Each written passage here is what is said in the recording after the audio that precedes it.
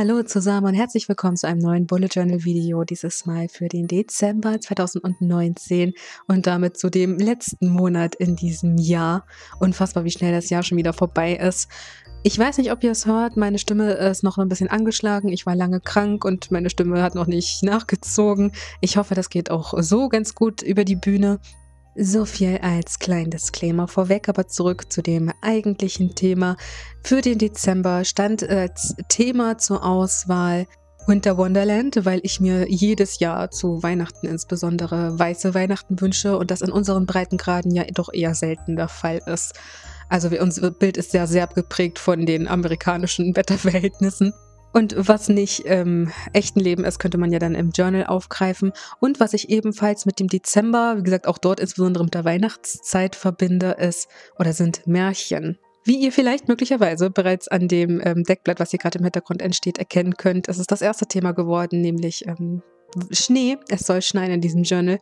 Und wie ihr möglicherweise ähm, auch erkennen könnt, ich habe mal wieder mit Wasserfarben gearbeitet. Ich stand mit Wasserfarben sehr lange auf Kriegsfuß. Auf einmal konnte ich mit Wasserfarben nicht mehr umgehen, mit Aquarellen nicht mehr umgehen und hatte eine fast schon innere Blockade, wieder dieses Medium aufzugreifen und habe mir jetzt vor relativ kurzem eine neue Aquarellpalette gekauft. Das also es ist nicht Profi-Qualität, es ist eine knappe Stufe darunter, aber es ist tausendmal besser als die Aquarellfarben, die ich davor hatte. Ich freue mich jedenfalls wahnsinnig über diese Anschaffung. Ich freue mich wahnsinnig darauf, darauf, diese Palette hier richtig austesten zu können und die jetzt richtig benutzen zu können.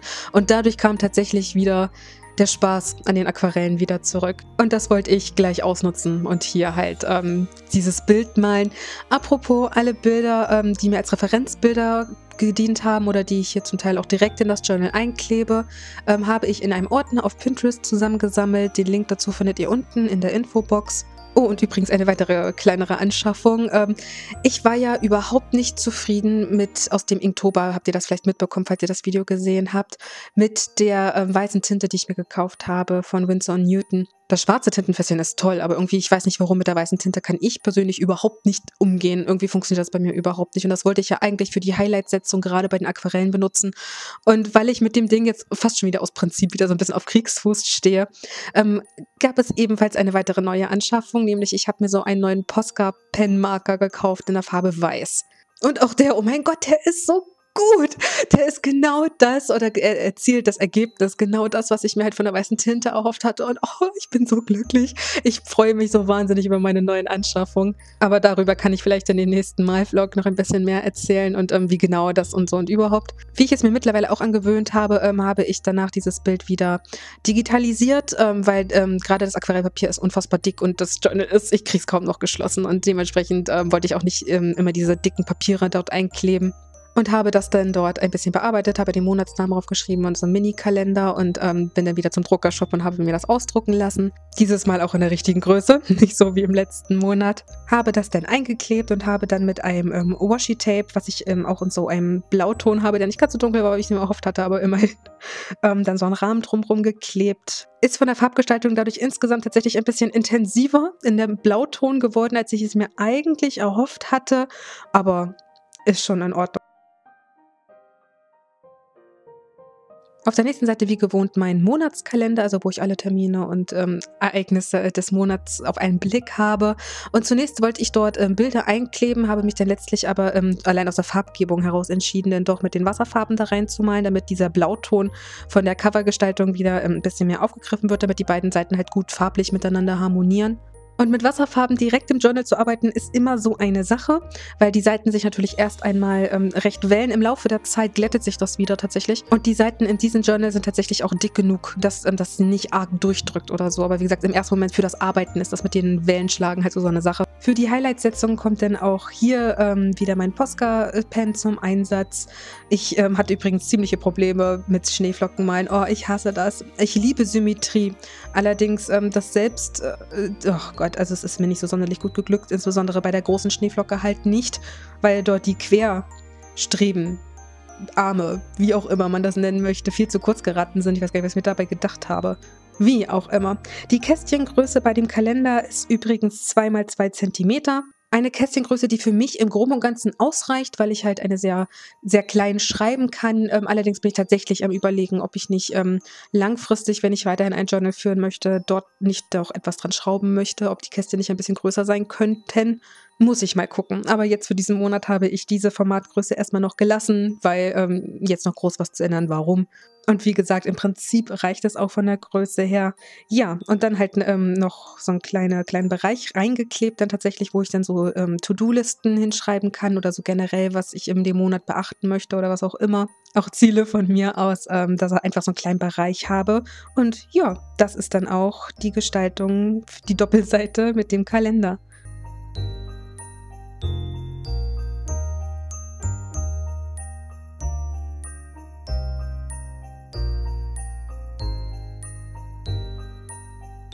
Auf der nächsten Seite dann der Bereich für meine Habit Tracker, für meine Gewohnheiten. Die Überschrift hat übrigens keinen Platz mehr gefunden. Blöd gelaufen weil tatsächlich ursprünglich das Bild, was ich dorthin kleben wollte, wollte ich nicht in der Größe. Ich wollte mir das noch zurechtschneiden. Allerdings habe ich das dann halt mit so einem ganz kleinen weißen Rahmen ausgeschnitten und das sah so hübsch aus wie so ein Foto, dass ich das Bild dann doch nicht kleiner schneiden wollte und dann musste ich ein bisschen hin und her rücken und hat die Überschrift nicht mehr angepasst. Ist ja auch egal, als ob man nicht wüsste, wofür diese Seite benutzt werden soll. Das Einzige, was sich im praktischen Bereich tatsächlich sich für mich geändert hat, dass ich in manchen Bereichen ähm, zwei Farben dann nehmen möchte, um die Kästchen abzustreichen, weil sie zwar unter der gleichen Überschrift stehen, aber mit zwei verschiedenen Varianten. Also jetzt zum Beispiel, ich habe einen Bereich, wo ich im Tracker festhalte, wie an welchem Tag ich entweder videomäßig etwas bearbeitet habe oder bildmäßig etwas bearbeitet habe, eben für Instagram, für YouTube oder was auch immer. Und dort werde ich in einem Tracker das festhalten. Und vorher hatte ich dann das oft in zwei Trackern aufgeteilt und jetzt möchte ich mal versuchen, das in einem zu packen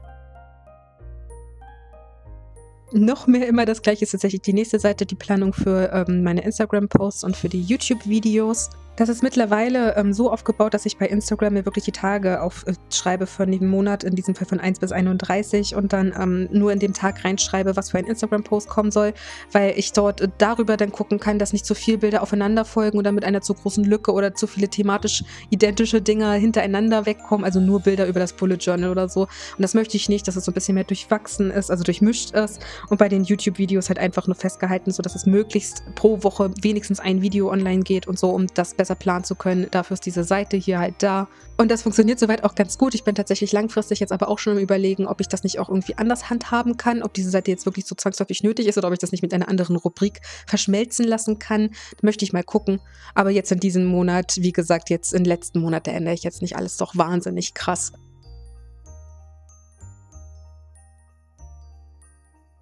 Und natürlich auch eine Seite über die Stimmungen, um meine Stimmungen festzuhalten. Und ja, das eigentliche Thema wäre ja Winter Wonderland gewesen. Also da hätte es natürlich naheliegend gewesen, das irgendwie mit Schnee zu machen. Vielleicht auch mit Schneeflocken oder und so. Und dann kann man die vielleicht in einer Farbe ausmalen.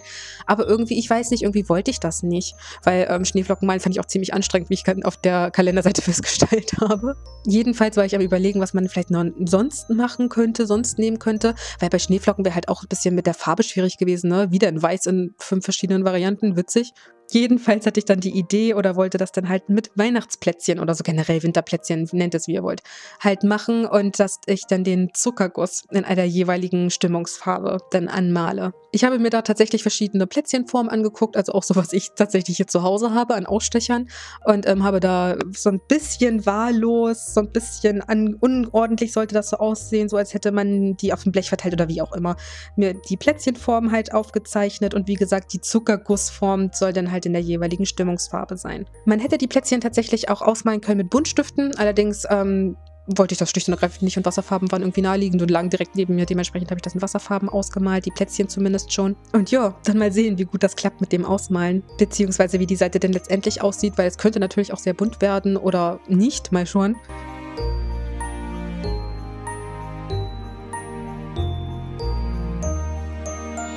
Und die darauf folgende Seite, die Seite mit dem Rahmen, also wo ich mir einfach nur einen Bereich festhalte, um für mich diesen Monat noch einmal Revue passieren zu lassen und einfach für mich nochmal so zusammenzufassen, was das Erinnerungswürdigste für mich an dem Monat war. Vielleicht auch, was für Erkenntnisse man aus diesem Monat gezogen hat, was einem da halt so einfällt. Und dort habe ich tatsächlich einfach nur ein Bild ausgedruckt, hatte das Bild tatsächlich vorher noch so ein bisschen bearbeitet, habe das ein bisschen transparenter gemacht, was letztlich nichts gebracht hat. Ich hätte mal einfach die Sättigung runterfahren sollen. Blöd gelaufen, ist mir zu spät eingefallen. Aber das Motiv an sich ist ja schon sehr hell und ähm, möchte dann halt mit ähm, einem schwarzen Stift oder Tinte oder so einfach den darüber drüber. Mal sehen, ob das so funktioniert oder ob man die Schrift dann nachher nicht lesen kann. Das wäre doof, aber mal gucken. Ich hoffe jetzt einfach mal das Beste, ansonsten ist es halt einfach nur ein hübsches Bild in einem goldenen Rahmen.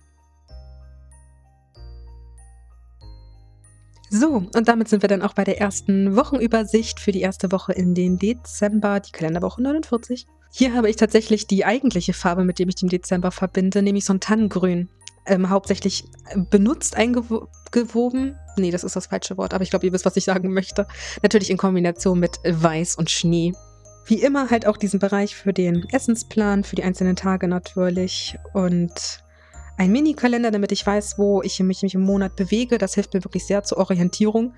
Hier und da dann auch noch ein bisschen Washi-Tape und ein bisschen Goldstift und so, was man halt so benutzen kann. Übrigens auch wie immer alle Materialien, die ich jedes Mal verwende in den Videos, sind auch unten in der Infobox verlinkt. Vielleicht auch noch so als kleine Anmerkung im Laufe ähm, des Monats werden dann natürlich die einzelnen weiteren Kalendergestaltungen, Wochenkalendergestaltungen auf Instagram immer ein Bild dazu online gehen, falls euch das interessiert, wie die anderen Wochen halt dann immer so aussehen. Und ja, das war es dann im Groben und Ganzen, im Hintergrund läuft natürlich weiter, im Groben und Ganzen auch gewesen. Das war tatsächlich der letzte Monat, das letzte Video für ähm, das Bullet Journal in diesem Jahr. Ich möchte dementsprechend die Zeit nutzen, Danke zu sagen, dass ihr Interesse an diesen Videos hattet, dass ihr ähm, die, den Lauf dieser Gestaltung verfolgt habt, dass ihr euch immer auch so rege an den Abstimmungen beteiligt habt, welches Thema es dann werden sollte und so. Ähm, es hat mir wirklich sehr viel Spaß gemacht, immer ähm, die einzelne Monatsgestaltung zu machen und auch generell diese Videos zu erstellen und so. Es war ähm, schön. Natürlich könnt ihr mir auch hier gerne in den Kommentaren da lassen, ähm, welche Seite euch in diesem Monat am besten gefallen hat, ob ihr vielleicht auch im nächsten Jahr ähm, weiter Videos zum Thema Bullet Journal haben wollt oder ob es euch jetzt vielleicht auch reicht. Ähm, wenn ihr gerne weitersehen möchtet, vielleicht auch was für einen Stil ihr euch erhofft oder so generell alles, was ihr zu sagen habt, sagen wollt, wie immer gerne in die Kommentare damit. Ich bin über jede Form von Feedback sehr dankbar. Ihr könnt mir natürlich auch gerne ähm, verraten, welche Gestaltung, welchen Monat euch am besten gefallen hat. Das würde mich tatsächlich sehr interessieren. Oder ob ihr vielleicht auch das eine oder andere andere für euer Journal übernommen habt in der Gestaltung. Auch das würde mich wahnsinnig interessieren. Wie gesagt, alles, was ihr zu sagen habt, sagen wollt in die Kommentare damit. Das war es soweit auch von meiner Seite aus. Vielen Dank, dass ihr diese Reihe hier begleitet habt. Und wenn ihr wollt, sehen wir uns dann im nächsten Video wieder. Tschüss!